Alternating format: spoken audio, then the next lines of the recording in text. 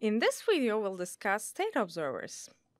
This concept will help explain what Kalman filters are and how they work. Let's start with an example. This is little Timmy, and you want to know about his mood and how he's feeling right now. However, there is no direct way of measuring his mood. So, what you do is give him a cookie and start observing his facial expressions. This observation helps you estimate his real mood. State observation helps you estimate something that you can't see or measure directly. Throughout the rest of the discussion, if you see something with a hat on it, this means that it is estimated through a state observer. So if the state X is shown with a hat, then it is an estimated state. Next, we'll look at a more solid example. You're traveling in space to discover new planets. In order to get to the planet safely, you need to monitor the internal temperature of your jet engine. If it gets too hot, it could damage your spacecraft. However, there isn't any feasible way of measuring the internal temperature since a sensor placed inside the engine would melt. What you can do is to place the sensor on a colder surface and measure the temperature there. Let's call this temperature T external. And the one you can't measure but you need to estimate, T internal.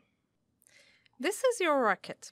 You're wondering how high the internal temperature of the engine is, since this will tell you how you should regulate the fuel flow to your rocket. However, you don't have access to the state T internal.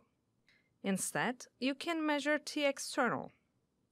The signals that are available to you are the fuel flow and your measurement. How do you estimate the internal temperature? Actually, you have access to more information. Since your math is pretty good, you can derive the equations that will give you the mathematical model of your real system. You already know how much fuel you're adding to your rocket, so if you now input this fuel flow to your mathematical model, this will give you an estimate of your output. And also, notice that since you have all the governing equations, you can even calculate the internal state of the system. Okay, does this solve your problem now? Unfortunately, it doesn't. No doubt that you're good at math, but in reality, the mathematical model you found is only an approximation of your real system. It is subject to uncertainties. If you had a perfect model without any uncertainties, and if your real system and your model had the same initial conditions, then your measurement and estimated output values would match each other. And therefore, the estimated internal temperature would match the true internal temperature as well. But in real life, this is an unlikely scenario, and therefore, the estimated external temperature won't match the measured temperature. That's why you need to use a state estimator to estimate your internal states. Let's see how a state estimator works. Here, our goal is to match the estimated external temperature with the measured external temperature. We know that if these two are equal, then the model will converge to the real system. So the estimated internal temperature will converge to its true value. What we're trying to do is to minimize the difference between the estimated and measured external temperature. Does this sound familiar to you? Actually, we're talking about a feedback control system where we try to control the error between the measured and estimated external temperature at zero using a controller K. If we now update our diagram on the left hand side based on what we've discussed here, it will look like this. This part represents the state observer. By closing the loop with a controller K around the observer, we try to eliminate the error between the estimated and measured external temperature such that the estimated internal temperature is driven to its true value. In summary, you can't directly measure the internal engine temperature, but you know how much fuel you're supplying to your rocket. So you can run this through your mathematical model and estimate the output, which you can then use along with your real measurement to estimate the internal state of the system.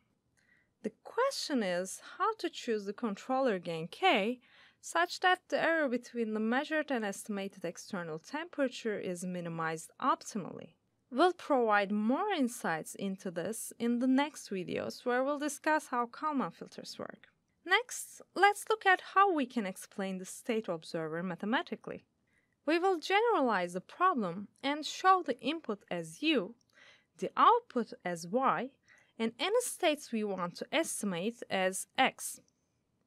Our goal is to derive x hat to x, so we can define the difference between these values as an error. Next, let's write down the equations for the system and the observer. If we subtract these equations from each other, this will give us the error dynamics. By rearranging terms, we see that the error dynamics can be shown by this equation.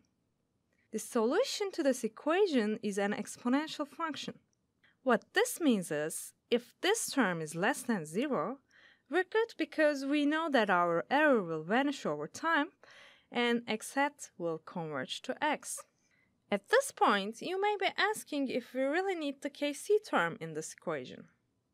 Because even without the feedback loop that adds the Kc term to the equation, we would have a decaying exponential function for the error. The significance of having a feedback loop around the observer is that we can control the decay rate of the error function by selecting the controller gain k accordingly.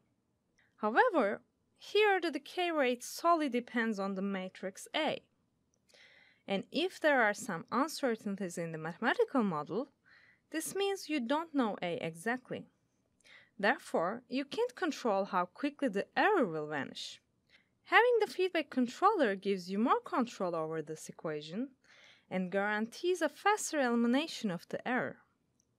And the faster the error vanishes, the faster the estimated states x hat converge to the true states x. An optimal way of choosing the gain k is performed through the use of Kalman filters. In the next video, we'll get insights into how Kalman filters work.